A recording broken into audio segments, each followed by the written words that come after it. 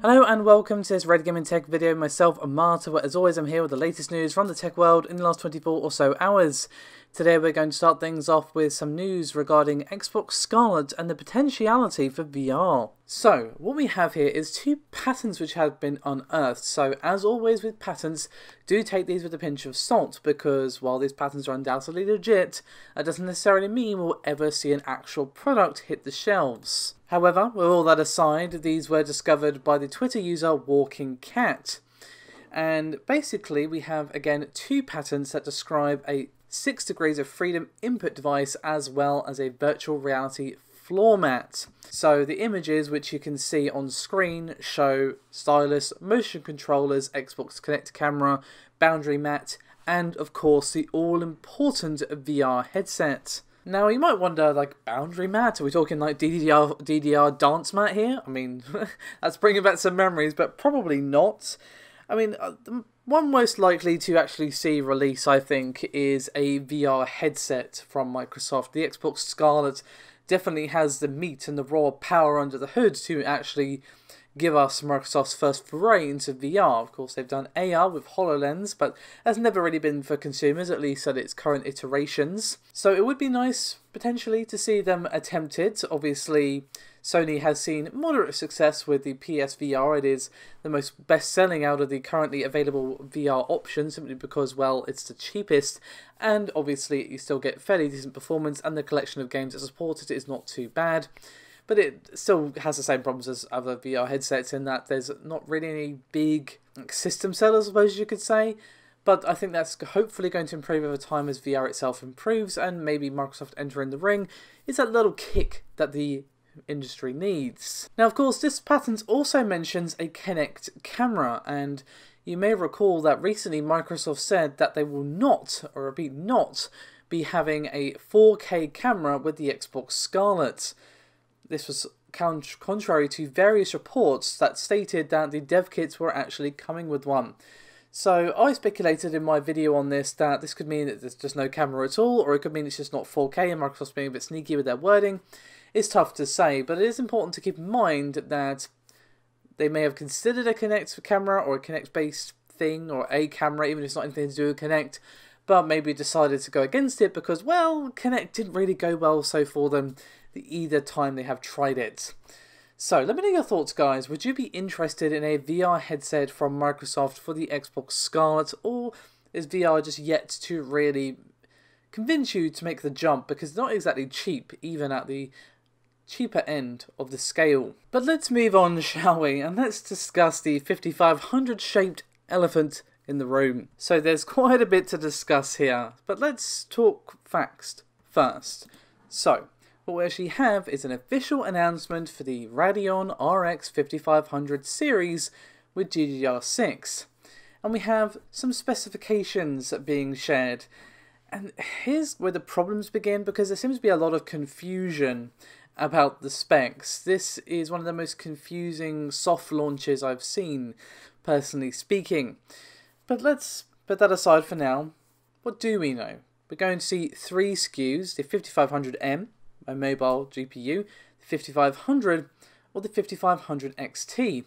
Now, it's important to note that AMD do not actually say ever the words 5500 XT in the presentation, but they do say the word series.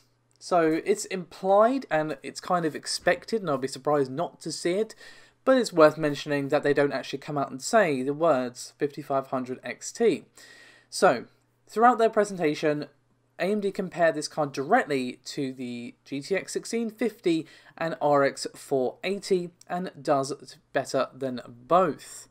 Now, the card that we see being compared in the slides which you'll be enjoying on screen is the 4GB variant. However, one of the slides directly mentions that the series goes up to 8GB. So this is where the evidence continues to kind of solidify for there being a 5500 XT in existence because, well, we're most, most likely going to see a 5500 XT with 8GB. But specs wise, we also see 22 compute units, 1408 stream processors, up to 5.2 T-flops, up to 1717 megahertz, up to a 1845 boost clock, again up to that 8 gigs of GDDR6 memory, and 128-bit memory interface. So here's where the confusion begins when it comes to the TDP of the actual card. So AnandTech.com initially said that the TDP of the 5500 was 150 watts and then they updated their article to say, oh, actually, sorry, AMD got in touch and they said it's 110 watts. Then AMD updated their website from 110 watts to 150. So immediately you're like, I'm sorry? Doesn't stop there, my friends. No. Uh, we also see on the slide that 1717 and 1845 that I literally just mentioned, those words just came out of my mouth mere moments ago. Yet on the website it showed 1845 MHz and a boost of 1670. Now, there's also something glaring, and I do mean glaring by its omission the price, not to mention the release date. We do not have either of those things, not even a hint, not even a release window, and not even having a vague price at this stage is just like, huh? And there's not even a pic- picture of a single custom model. So this launch is just strange, to be quite frank with you. I don't really know what's happened. I expect a statement is going to be incoming from AMD shortly about the confusion that's surrounding the 5500. And another thing that I've actually neglected to mention, apologies um, for accidentally leaving it out, we're not actually going to be seeing a reference design launched to the public. We're only going to see custom AIB designs which we have not seen hide nor hair of. So, yes, we officially know what the 5500 is, but we don't know how much it's going to cost or when it's going to come out. hopefully, we're going to get that information quite soon. I just hope that AMD clears up the situation rather swiftly, to be quite honest with you, but enough of all that. Let's move on, shall we, to Camp Intel. And this time around, we're actually seeing a price cut for a couple of 9th gen processors, and we're also seeing a couple of announcements on top of that as well. But let's start things off with the price cuts as they have announced a reduction in price for eight SKUs, which range from the very tip top, the 9900KF, all the way down to the i3 9100F, because it is going to be the KF and F series, which launched some time ago, that are going to be getting a slight slimming down of the price tag. Let's actually go through the prices as to what they were to what they are now. Now, don't get too excited. They're not a significant price cut, but still a price cut nonetheless. So, the old price for the 9900, excuse me, KF was $488, is now 463 the 9700 KF was 374, is now 349. The 9600 was 262, it now is 237. The 9350 KF was 173 and is now 148. The 9700F was 332 and is now 298. The 9500 was 192 and is now 167.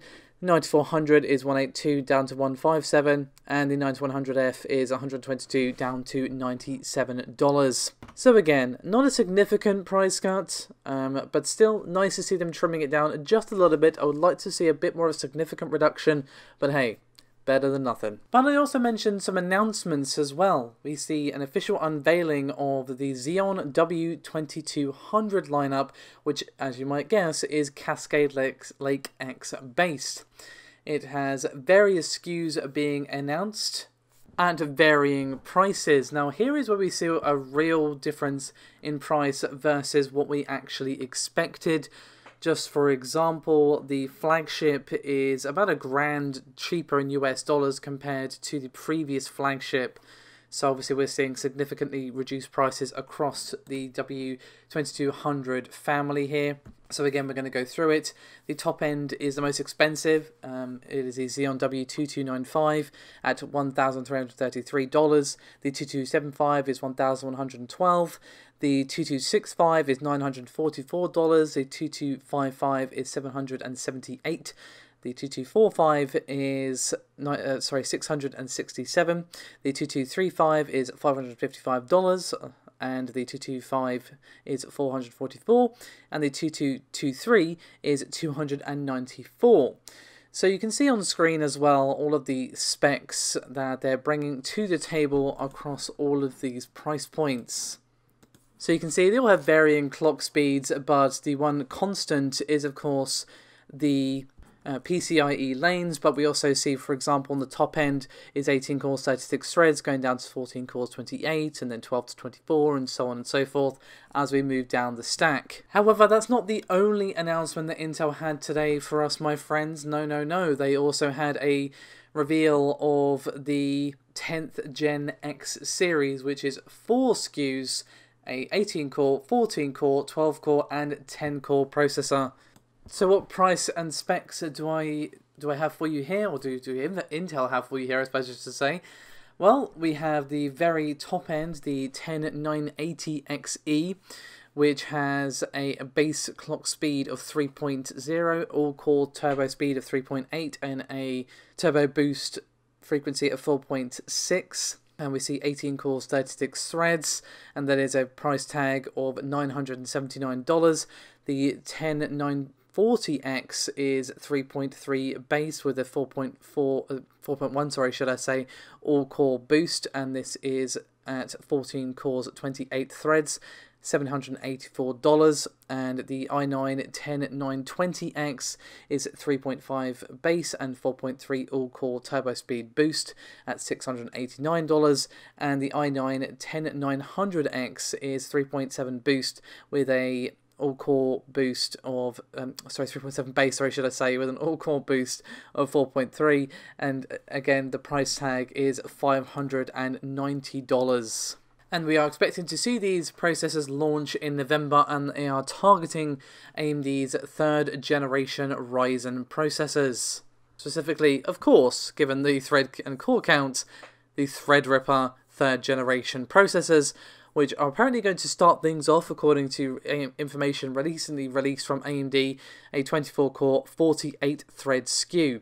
So, the HEDT war is officially on. There is one important thing that is worth mentioning with this new series, however, it is still the 14nm process, but obviously, as you might have guessed throughout my specs and price readings just there, we do see lower pricing per core, as well as higher single and all core turbo clock speeds versus the 9th generation, but of course, these are HEDT chips.